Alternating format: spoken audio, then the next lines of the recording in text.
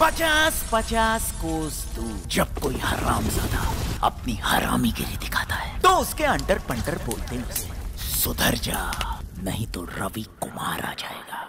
अरे सर, बहुत ही फ्रेश और नया डायलॉग था। आपसे पहले बस मुश्किल से 45 फ़िल्मों में ही सुना होगा मैंने। हिमेश सर, आप मूवी मत निकाल लग रहे वो आपका सुरूर करके हर साल एक नई एल्बम दे दिया करो, क्योंकि आप सिर्फ़ कानों में मिश्री है। आँखों में तो एसिड हो एसिड सो तुम्हें पता चली गया होगा की हिमेश सर की एक नई मूवी आ रही है, जिसका नाम बहुत सोचने के बाद इन्होंने रखा है बैड रवि कुमार तो Himesh sir actor producer singer और डायरेक्टर तो खुद ही है, पर शायद अपनी टेक्निकल टीम में भी अकेले ही है। क्योंकि मूवी का नाम भी इन्होंने वो रखा है, जो ऑलरेडी सारे सोशल मीडिया हैंडल से शेडो बैंड है।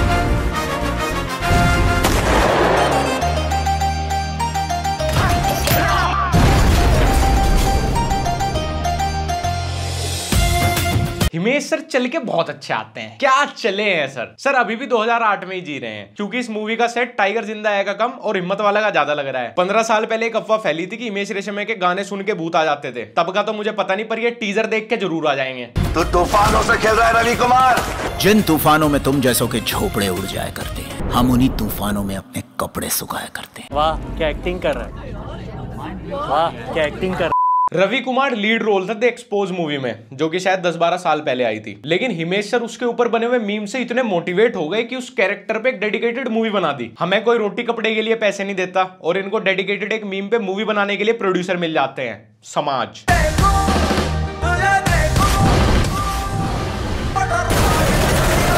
इतनी तेज तेज लाइट फ्लैश करने से क्या सोच रहा है? भाई, पीछे की ग्रीन स्क्रीन दिखेगी। हिमेश सर का रोमांस कॉमेडी मेलोड्रामा के बाद अब एक्शन फ़िल्म में फ्लोप होने का इरादा है। हिमेश सर प्लीज़ मैं बचपन से आपका बहुत बड़ा फ़ैन हूँ। मेरी एक रिक्वेस्ट है प्लीज़ आप वो अपनी, आपका सुरूर वाली कैप लगा के इंडियन आइडल का सीज़न 69 जज कर लो, बस। हाँ सर, पूरे हीरो दिख रहे हो। सर सर, पूरे एक्शन हीरो दिख रहे हो। आपको देख के सिल्वेस्टर स्टेलोन का तो मुँह निकल जाएगा। नहीं, टॉम क्रूज तो वेंटिलेटर पे चला जाएगा सीधा टीजर देखते ही। तेरे शरीर में इतना खून नहीं होगा जितना रवि कुमार एक बार में।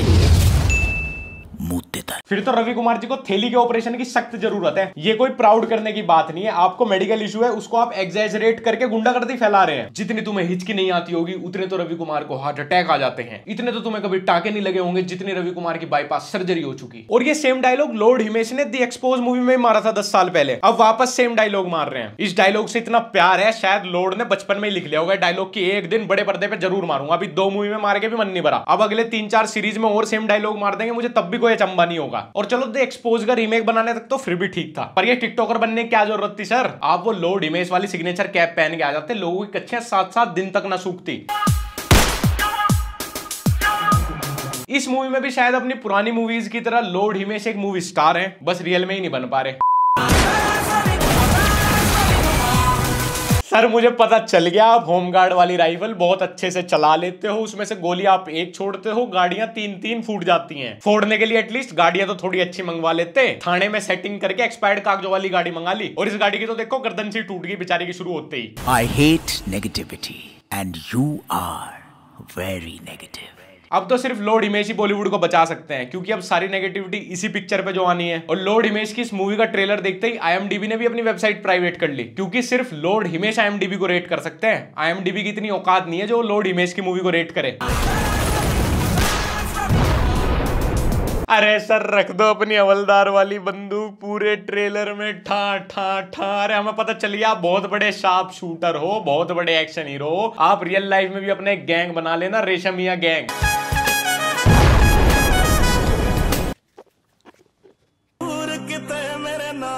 सर डायलॉग तो चलो मान लिया आपने लिखा है, पर एटलीस्ट एडिटिंग तो अपने फ़ोन पर खुद ना करते। कोई नहीं। ये खाओ आप माई फिटनेस पीनट बटर अब आपके सारे favourite flavours crunchy smooth crispy सभी में अवेलेबल है। और इसका limited Olympia dark chocolate peanut butter with added whey gym enthusiast के लिए। सो अब टेस्ट के साथ साथ हेल्थ भी। और ये टोटली वीगन और यूएस द्वारा सर्टिफाइड है। So the link is in description go and check out my fitness peanut butter the Xpose universe continues the Xpose खुद सोला एज अ फ़िल्म तो चल नहीं पाई थी ये यूनिवर्स अब क्या मतलब है, हर तीन साल में रवि कुमार अपने ओजी डायलॉग्स के साथ आपके दिल में स्टंट डलवाते रहेंगे? सर, अब हर तीन साल में मीम्स देने का इरादा है क्या?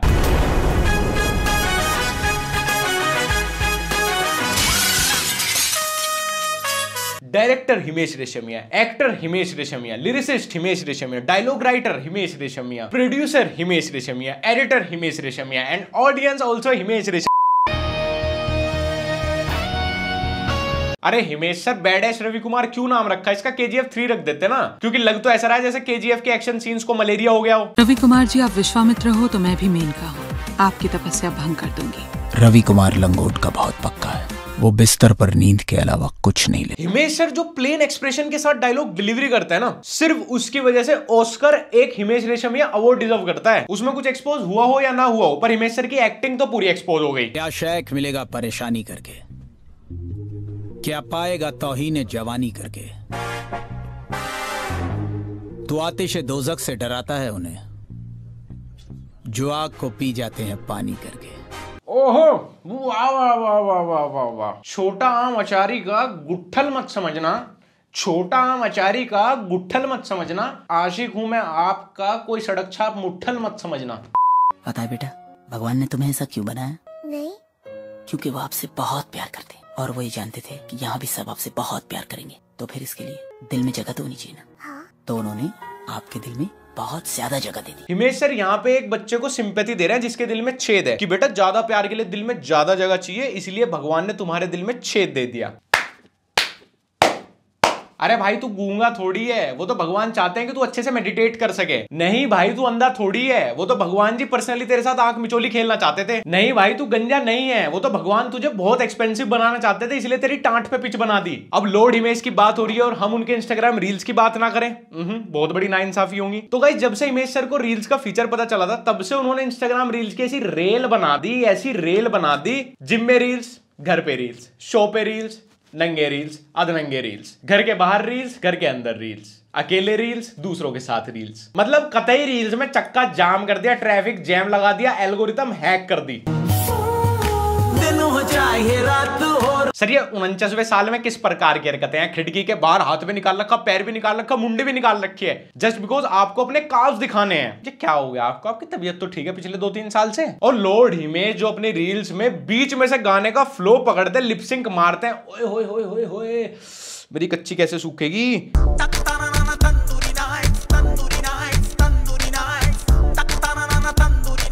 हिमेश सर, एक बार और आँख मार के पूरे देश को अंधा कर दो।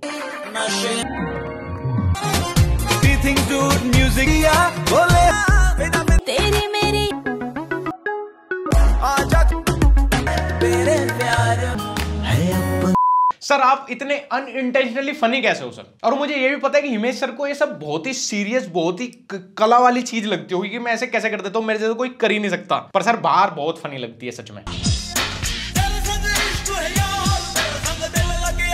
हाँ सर, मुझे पता चल गया, आपको वीट का ब्रांड एम्बेसडर बनना है। बस प्लीज़ अपने बगल का परफ्यूम फ्लेक्स करने की और ज़रूरत नहीं है। प्लीज़ अब सामने वाले पे फोकस करो या रिजोर्ट में आओ खाना वाना मंगाओ, उसको भी खिलाओ, खुद भी खाओ।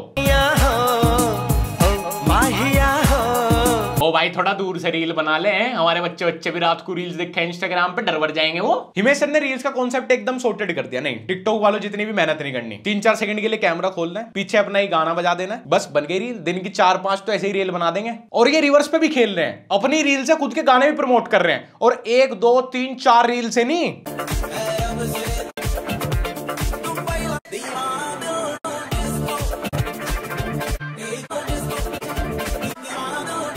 सर ऐसा करो इंस्टाग्राम के सर्वर अपनी रील से गर्म करके फूंक दो। किसी और के लिए कोई स्कोप ही मत छोड़ो कोई स्पेस ही मत छोड़ो। हमारी तुम्हारी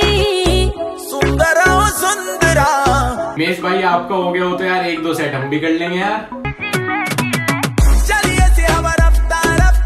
हाँ ये कर लो पहले। अरे ना ना ना कोई दिक्कत कर लो कर लो कर लो। रील्स बना लो। एक दो यूट्यूब शॉर्ट्स बना लेना। पाँच छह फ़ोटो ले लेना।